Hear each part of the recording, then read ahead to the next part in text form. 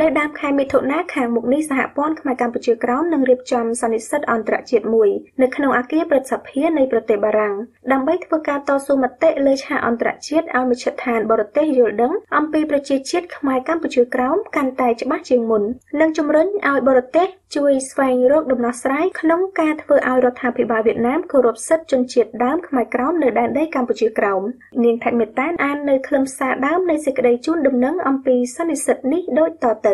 សេចក្តីប្រកេននិងជូនដំណឹងអំពីសន្និសីទអន្តរជាតិរបស់សហព័ន្ធខ្មែរកម្ពុជាក្រោមស្តីពីសិទ្ធិមនុស្សនៅក្នុងប្រទេសវៀតណាមផ្ដោតលើករណីជនជាតិដើមខ្មែរក្រោម សហព័ន្ធខ្មែរកម្ពុជាក្រោមនឹងរៀបចំសន្និសីទអន្តរជាតិនៅប្រទេសបារាំងក្រោមប្រធានបទសិទ្ធិមនុស្សនៅក្នុងប្រទេសវៀតណាមផ្ដោតលើករណីជនជាតិដើមខ្មែរក្រោមដែលនឹងប្រព្រឹត្តទៅនៅថ្ងៃសៅរ៍ទី2ខែមិថុនាឆ្នាំ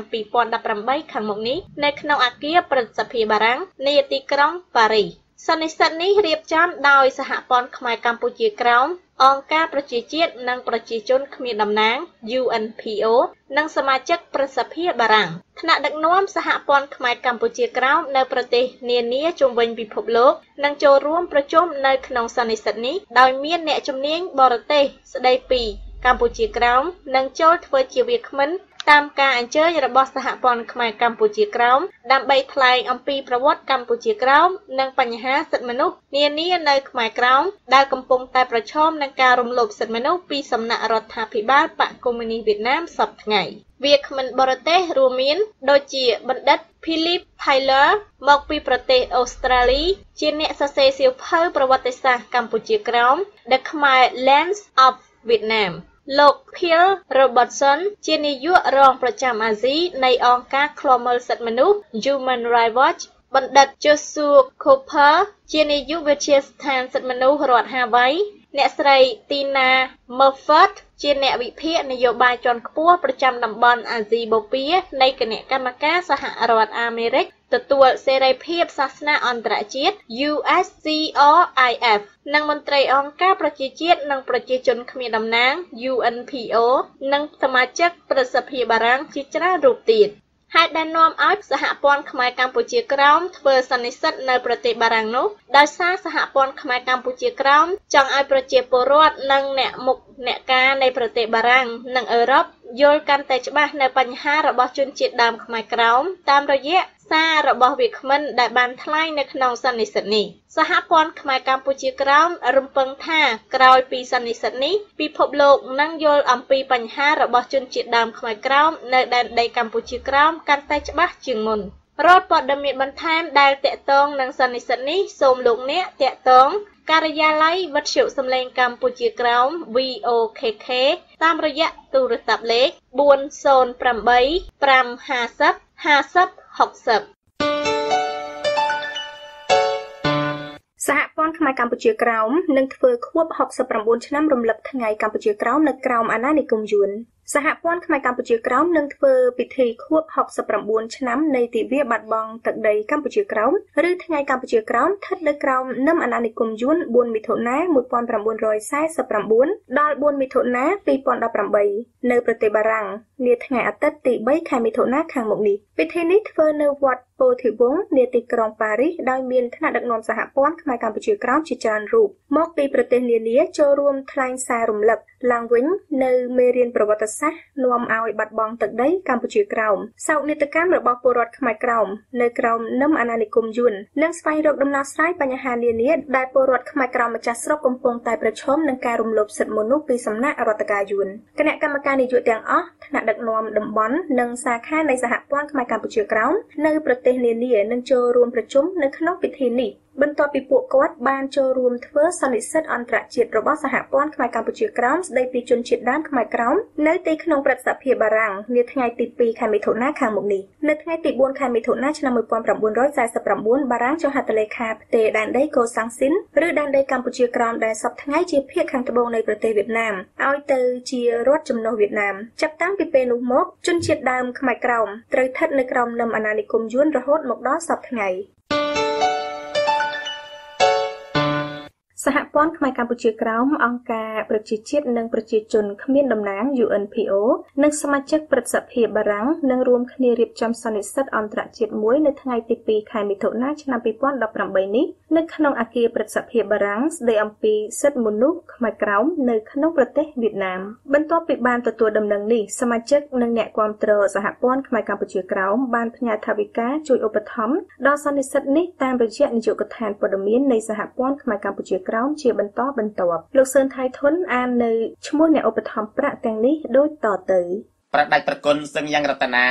កងរវត្តខេមរៈរង្សីទីក្រុងសានអូសេរដ្ឋកាលីហ្វ័រញ៉ាសហរដ្ឋអាមេរិកចំនួន200ដុល្លារបុគ្គលិកវត្តជសំលេងកម្ពុជាក្រមនិងត្រួតទាស់ព្រៃនគរនៅទីក្រុងសានហូសេរដ្ឋកាលីហ្វ័រញ៉ាសហរដ្ឋអាមេរិកចំនួន100ដុល្លារ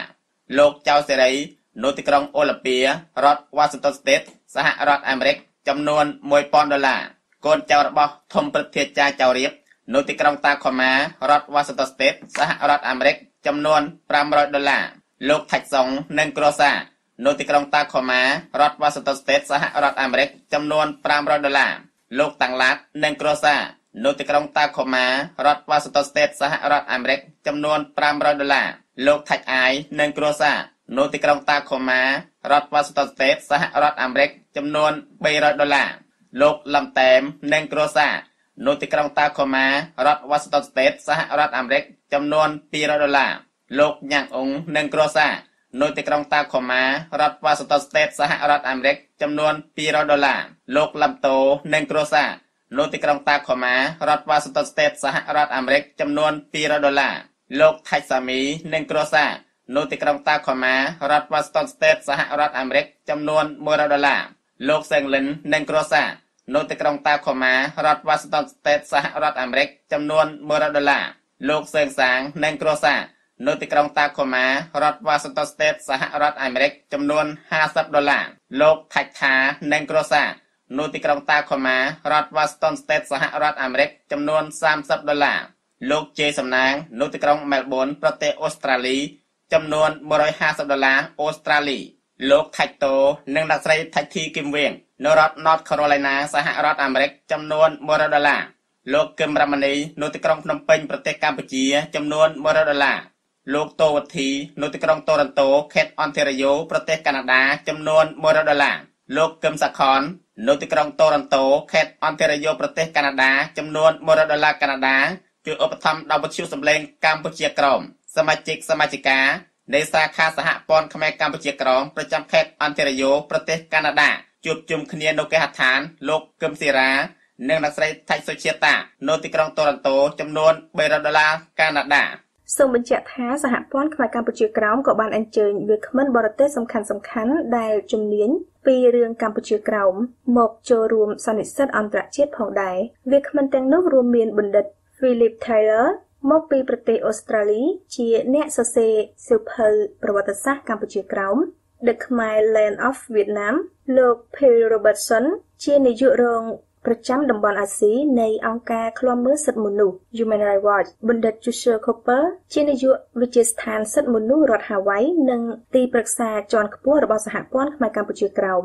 អ្នកស្រី Tina Muford ជាអ្នកវិភាគនយោបាយជាន់ខ្ពស់ប្រចាំតំបន់អាស៊ីបូព៌ានៃគណៈកម្មការសហរដ្ឋអាមេរិកទទួលសេរីភាព សាសនាអន្តរជាតិ USCRIF និងមន្ត្រីអង្គការប្រជាជាតិនិងប្រជាជនគ្មានតំណាង UNPO និងសមាជិកព្រឹទ្ធសភាបារាំងជាច្រើនរូបទៀត។ ព័ត៌មានបន្ថែមសូមប្រដេចព្រះគុណនិងលោកលោកស្រីតាក់ទងប្រដេចព្រះគុណសឹងយើងរតនាជាប្រធាននាយកដ្ឋានព័ត៌មាននៃសហព័ន្ធខ្មែរកម្ពុជាក្រោមតាមទូរស័ព្ទលេខ408 550 5060ឬតាមប្រអប់សម្បត្តិ KKF PO Box 51201 San Jose California 95122 USA លនាសង្គ្រោះជាតិរបស់លោកសំរងស៊ីគ្រោងស្នើឲ្យកងទ័ពនិងមន្ត្រីរាជការឈប់គាំទ្របកកាន់អំណាចតាំងពីថ្ងៃសុក្រសប្តាហ៍មុនមកចលនាសង្គ្រោះជាតិរបស់លោកសំរងស៊ីដែលរដ្ឋាភិបាលកម្ពុជាហៅថាជាចលនាខុសច្បាប់នោះបានអំពាវនាវឲ្យពលរដ្ឋខ្មែរឈប់ចាក់សាំងតេឡាយុទ្ធនាការទី2នេះធ្វើឡើង ក្រោយពីចលនានេះបានអំពាវនាវកុំឲ្យពលរដ្ឋបរិភោគទឹក បរិសុទ្ធម៉ាវីតាល់ក៏ប៉ុន្តែយុទ្ធនាការទាំងពីរនេះ គេនៅមិនទាន់ដឹងថាទទួលបានជោគជ័យឬយ៉ាងណានៅឡើយទេ ចំណែកយុទ្ធនាការបន្ទាប់ទៀតចលនាសង្គ្រោះជាតិគ្រងនឹងអំពាវនាវឲ្យកងទ័ពនិងមន្ត្រីរាជការឈប់គាំទ្របកកាន់អំណាចតែអ្នកនាំពាក្យបកនេះតបវិញថាជាការអំពាវនាវឥតប្រយោជន៍អគ្គលេខាធិការចលនាសង្គ្រោះជាតិគឺលោករីគៀ បានថ្លែងឲ្យដឹងនៅថ្ងៃអង្គារនេះថាចលនាសង្គ្រោះជាតិគ្រងនឹងអំពាវនាវឲ្យប្រជាពលរដ្ឋខ្មែរទាំងអស់រក្សានៅភាពស្ងៀមស្ងាត់ហើយនៅជាមួយប្រជាជននិងអ្នកប្រជាធិបតេយ្យពលគឺឈប់គ្រប់គ្រងគណៈបកប្រជាជនកម្ពុជាដែលកំពុងកាន់អំណាចបច្ចុប្បន្នតទៅទៀតតាមលោករីគៀយុទ្ធនាការនេះនឹងត្រូវអំពាវនាវជាផ្លូវការតាមរយៈវីដេអូឃ្លីប នៅតាមបណ្ដាសង្គមនៅពេលប៉ុន្មានថ្ងៃខាងមុខនេះខណៈដែលលោកសំរងស៊ីដែលជាប្រមុខចលនាសង្គ្រោះជាតិបានចេញវីដេអូអំពាវនាវដល់កងទ័ពរួចទៅហើយទោះបីជាយ៉ាងណាក៏ដោយលោករីគៀបានគូបញ្ជាក់ថាការអំពាវនាវនេះមិនមែនឲ្យកងទ័ពនិងមន្ត្រីរាជការ ក្រោកបះបោប្រឆាំងនឹងរដ្ឋាភិបាលកម្ពុជាឡើយលោកសុកអេសានដែលជាអ្នកនាំពាក្យគណៈបកប្រជាជនកម្ពុជាបានចាត់ទុកការអំពាវនាវនេះថាគ្មានប្រយោជន៍និងគ្មានប្រសិទ្ធភាពនោះទេលោកថាគ្មានប្រជាពលរដ្ឋកម្ពុជាណាទៅស្ដាប់តាមការអំពាវនាវរបស់ចលនាសង្គ្រោះជាតិដែលមានលោកសំរងស៊ីជាប្រមុខនោះទេនេះក៏ព្រោះថាលោកសំរងស៊ីត្រូវបានរដ្ឋាភិបាលកម្ពុជាចាត់ទុកថាជាជនក្បត់ជាតិ ដែលបើតាមលោកសុកអេសាន គឺអស់តម្លៃដើម្បីឲ្យប្រជាពលរដ្ឋស្ដាប់តាមទៅហើយសម្រាប់លោកសុកអេសាននៅពេលនេះប្រជាពលរដ្ឋខ្មែរកំពុងរស់នៅយ៉ាងសុខសាន្តក្រោមការដឹកនាំរបស់រដ្ឋាភិបាលរបស់គណបកប្រជាជនកម្ពុជា គេនៅចាំបានថាដោយសារតែការអំពាវនាវឲ្យកងទ័ពឈប់គ្រប់គ្រងបកកាន់អំណាចនិងប្រឆាំងរដ្ឋាភិបាលកម្ពុជានេះហើយលោកសំរងស៊ីធ្លាប់ត្រូវបានប្រមុខកងទ័ពខ្មែរដាក់ពាក្យប្តឹង ទៅកាន់តុលាការសាលាដំបងរាជធានីភ្នំពេញម្ដងរួចហើយបន្ថែមលើនេះប្រមុខកងទ័ពនិងមន្ត្រីសំខាន់សំខាន់ផ្សេងទៀតនៅក្នុងជួររដ្ឋាភិបាលកម្ពុជាក៏ចេញមុខថ្កោលទោសលោកសំរងស៊ីជាបន្តបន្ទាប់បន្ថែមលើនេះនៅពេលនេះលោកសំរងស៊ីក៏កំពុងរងនៅបណ្ដឹងពីបទក្បត់ជាតិនៅតុលាការខ្មែរមួយទៀតដែរដោយលោកត្រូវបានរដ្ឋាភិបាលកម្ពុជាចោទថាបានចុះហត្ថលេខាកាត់ខេត្តរបស់ខ្មែរចំនួន4ឲ្យទៅក្រមជនជាតិភាគតិចវៀតណាម ប្រសិនបើគណៈបកសង្គ្រោះជាតិបានដឹកនាំរដ្ឋាភិបាលនោះយ៉ាងណាក៏ដោយលោកសុកអេសានបានប្រមានជាមុនទៅកាន់លោកសំរងស៊ីថាប្រសិនបើលោកសំរងស៊ីនៅតែបន្តធ្វើសកម្មភាពអំពាវនាវឲ្យកងទ័ពប្រឆាំងនឹងរដ្ឋាភិបាលកម្ពុជាតទៅទៀតនោះមេដឹកនាំអតីតបកប្រឆាំងរូបនេះនឹងមានពិរុទ្ធភាពកាន់តែខ្លាំងឡើងថែមទៀតប្រជុំកំពូលពិសេសអាស៊ានអូស្ត្រាលីបានបិទបញ្ចប់ហើយកាលពីចុងសប្តាហ៍មុននេះគណៈក្រុមមេដឹកនាំប្រទេសអាស៊ានទាំង10នៅអូស្ត្រាលីបដិញ្ញាបង្កើនកិច្ចសហប្រតិបត្តិការលើវិស័យសន្តិសុខនិងពាណិជ្ជកម្មសេរីក្នុងតំបន់តាមរយៈការចុះហត្ថលេខាលើសេចក្តីថ្លែងការណ៍រួមមួយហៅថាសេចក្តីថ្លែងការណ៍ស៊ីដនីកិច្ចប្រជុំដដែលនោះក៏បានញោមញីដោយបាតុកម្មប្រឆាំងនិងបាតុកម្មគ្រប់គ្រងក្រុមមេដឹកនាំផ្ដាច់ការមកពីអាស៊ាន ពិសេសកម្ពុជា និងមីយ៉ាន់ម៉ានេះរបបលោកហ៊ុនសែនចាត់ទុកថាកិច្ចប្រជុំកំពូលនេះបានផ្ដល់នូវលទ្ធផលវិជ្ជមានជាច្រើនអត្ថបទនេះចុះផ្សាយដោយវិទ្យុអាស៊ីសេរីហើយនាងថាច់មេតានៃវិទ្យុសំឡេងកម្ពុជាក្រោមសូមលើកយកមកជម្រាបជូនឡើងវិញដូចតទៅ ទោះបីជាមានសង្គ្រាមពាក្យសម្ដីធ្ងន់ធ្ងរឆ្លងឆ្លើយគ្នានៅមុនកិច្ចប្រជុំកំពូលពិសេសអាស៊ានអូស្ត្រាលីនេះយ៉ាងណាក៏ដោយប៉ុន្តែទីបំផុតទៅពុំមានឡើយការតាមវាយពលរដ្ឋខ្មែរអូស្ត្រាលីដល់ផ្ទះដោយតាមសារគម្រាមរបស់លោកហ៊ុនសែននៅមុនពេលទៅចូលរួមកិច្ចប្រជុំកំពូលនេះបើទោះបីជាបាតុកម្មប្រឆាំងនឹងវត្តមានលោកនិងការដុតទីងម៉ងរូបលោកហ៊ុនសែនបានប្រព្រឹត្តទៅយ៉ាងផុសផុលដោយតាមការគ្រោងទុក ពីសំណាក់ពលរដ្ឋខ្មែរអូស្ត្រាលីជាច្រើនរយនាក់ដែលទទួលបានចំណាប់អារម្មណ៍យ៉ាងខ្លាំងពីបណ្ដាញព័ត៌មានជាតិអូស្ត្រាលី និងបណ្ដាញព័ត៌មានអន្តរជាតិ ក៏ពុំមានឡើយដែរការរាំងខ្ទប់មិនឲ្យកិច្ចប្រជុំកំពូលនេះចេញសេចក្តីថ្លែងការណ៍រួមណាមួយរវាងអាស៊ាននិងអូស្ត្រាលីដោយតាមការគម្រាមរបស់លោកហ៊ុនសែនដែលថាលោកនឹងធ្វើឲ្យអូស្ត្រាលីខ្មាស់គេប្រសិនបើហ៊ានលើកយកបញ្ហាផ្ទៃក្នុងកម្ពុជាមកនិយាយនៅក្នុងកិច្ចប្រជុំកំពូលនេះ និងដោយអ្វីដែលលោកហ៊ុនសែនធ្លាប់បានធ្វើកាលពីក្នុងកិច្ចប្រជុំកំពូលអាស៊ានឆ្នាំ2012និង2016ដើម្បីការពារមុខមាត់មហាអំណាចចិនប៉ុន្តែអ្វីដែលគួរឲ្យចាប់អារម្មណ៍នោះគឺទំនងជាមានការដែលលោកហ៊ុនសែននិងក្រុមមន្ត្រីប្រតិភូ ហែហោមរបស់លោកបានបាក់មុខមាត់មិនតិចឡើយនៅក្នុងកិច្ចប្រជុំកម្រិតអន្តរជាតិនេះដោយសារតែមានពលរដ្ឋខ្មែរអូស្ត្រាលីជាច្រើនរយនាក់បានរួមដៃគ្នាធ្វើបាតុកម្មប្រឆាំងនឹងវត្តមានរបស់លោក និងបានធ្វើយុទ្ធនាការដុតទីងម៉ងរូបលោកជាបន្តបន្ទាប់ទាំងនៅមុននិងអំឡុងពេលកិច្ចប្រជុំនេះបើទោះបីជាកិច្ចប្រជុំកម្ពុជានេះ ដិតដាមដោយរឿងអាស្រូវនៃសារគម្រាមតាមវាយដល់ផ្ទះរបស់លោកហ៊ុនសែននិងការធ្វើបាតុកម្មដុតទីងម៉ុងរូបលោកហ៊ុនសែនប្រឆាំងនឹងវត្តមានរបស់លោកនៅទីនោះក៏ដោយនៅពេលវិលត្រឡប់មកកម្ពុជាវិញក្រោយការបិទបញ្ចប់ទៅនៃកិច្ចប្រជុំកំពូលនេះកាលពីយប់ថ្ងៃទី18ខែមីនាលោកហ៊ុនសែនបានអួតអាងអំពីមោទនភាពចំពោះលទ្ធផលវិជ្ជមានជាច្រើនអំពីកិច្ចប្រជុំកំពូលពិសេសនេះ។ ក្រៅពីបានផុសរូបភាពបង្អួតពីការជួបជុំរវាងលោកនិងក្រុមពលរដ្ឋខ្មែរអូស្ត្រាលី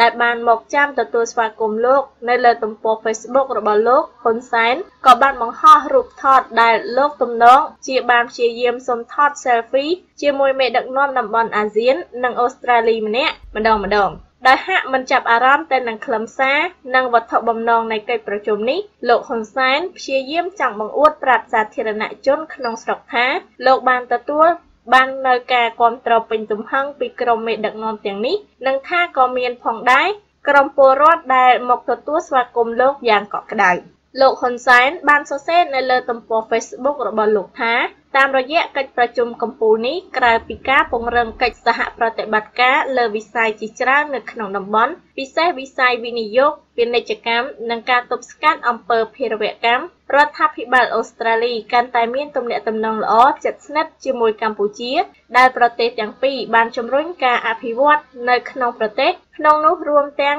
ការផ្តល់ជំនួយអភិវឌ្ឍជាង 87លានដុល្លារអូស្ត្រាលីដល់កម្ពុជាយ៉ាងណាក៏ដោយលោកហ៊ុនសែនមិនបានប្រាប់ឲ្យដឹងឡើយថា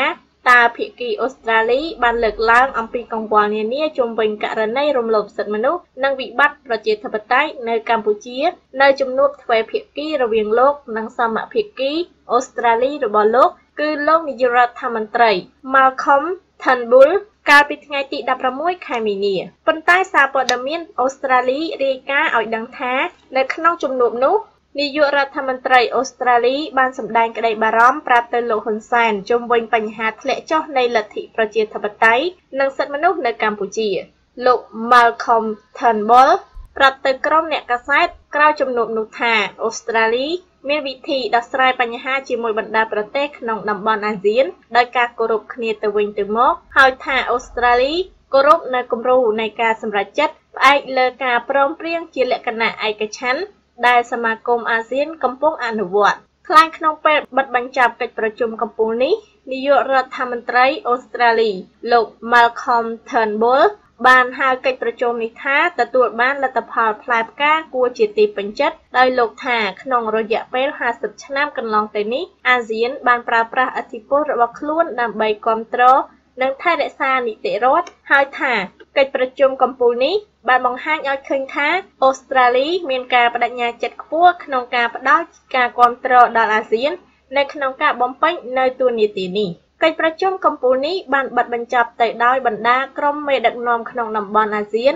និងអូស្ត្រាលី បានចុះហត្ថលេខាលើសេចក្តីថ្លែងការណ៍រួមមួយដែលដាក់ឈ្មោះថាសេចក្តីថ្លែងការណ៍ស៊ីដនី ដែលបានដាក់ចេញនៅការបដិញ្ញាចិត្តរបស់ក្រុមមេដឹកនាំទាំងនេះក្នុងការបង្កើននូវកិច្ចសហប្រតិបត្តិការលើច្រើនវិស័យក្នុងសេចក្តីប្រកាសព័ត៌មានចេញផ្សាយដោយនាយករដ្ឋមន្ត្រីអូស្ត្រាលីលោក Malcolm Turnbull កាលពីថ្ងៃទី18ខែមីនាលោកថា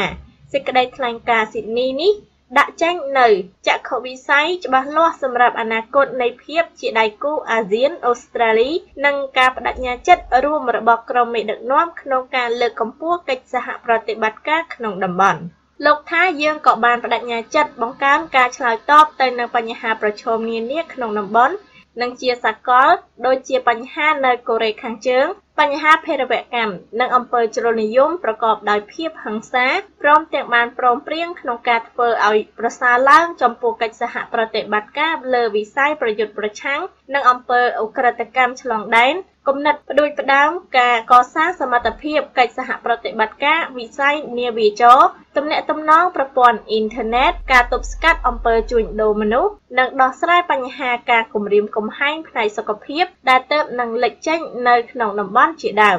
ក្រុមមេដឹកនាំក៏បានចុះហត្ថលេខាលើអនុសារណៈនៃការយោគយល់គ្នារវាងអាស៊ាន និងអូស្ត្រាលីស្ដីពីកិច្ចសហប្រតិបត្តិការប្រយុទ្ធប្រឆាំងភេរវកម្មអន្តរជាតិ ដែលស្ដែងឲ្យឃើញពីការបង្កើនការផ្សារភ្ជាប់របស់អូស្ត្រាលីជាមួយបណ្ដាប្រទេសក្នុងតំបន់អាស៊ាន ចំពោះកិច្ចប្រឹងប្រែងរួមក្នុងការទប់ស្កាត់និងអំពើភេរវកម្មកិច្ចព្រមព្រៀងនេះនឹងពង្រឹងការចែករំលែកព័ត៌មានរវាងរដ្ឋាភិបាលនិងរដ្ឋាភិបាលនិងបង្កើនកិច្ចសន្ទនារវាងស្ថាប័នពាក់ព័ន្ធនិងវិស័យសន្តិសុខនិងការអនុវត្តច្បាប់។ ដោយឡែកសម្រាប់វិស័យពាណិជ្ជកម្មវិញក្រុមមេដឹកនាំនៃបណ្ដាប្រទេសក្នុងតំបន់អាស៊ាន និងអូស្ត្រាលីបដិញ្ញាក្នុងការសម្រេចឲ្យបាននូវកិច្ចព្រមព្រៀងពាណិជ្ជកម្មសេរីមួយក្រោមឈ្មោះថា ភាពជាដៃគូវិស័យសេដ្ឋកិច្ចទូលំទូលាយប្រចាំតំបន់ហៅថា Regional Comprehensive Economic Partnership RCEP ឲ្យបាននៅមុនដំណាច់ឆ្នាំ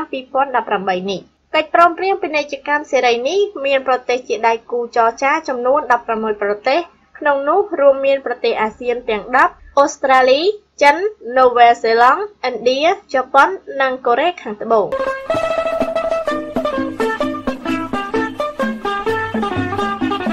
ចា៎លោកអ្នកស្ដាប់ជាទីមេត្រីកម្មវិធីផ្សាយនៃវិទ្យុសំឡេងកម្ពុជាក្រោមដែលបានផ្សាយជូនលោកអ្នកស្ដាប់នៅពេលនេះចាប់តែប៉ុណ្ណេះ សូមលោកអ្នកនាងរងចាំស្ដាប់កម្មវិធីផ្សាយនិងអានព័ត៌មានរបស់យើងខ្ញុំជារៀងរាល់ថ្ងៃតាមរយៈគេហទំព័រ www.vokk.net នាងខ្ញុំថៃសុចិតាព្រមទាំងសហការីនៃក្រុមផ្សាយទាំងអស់សូមអរគុណនិងសូមជម្រាបលា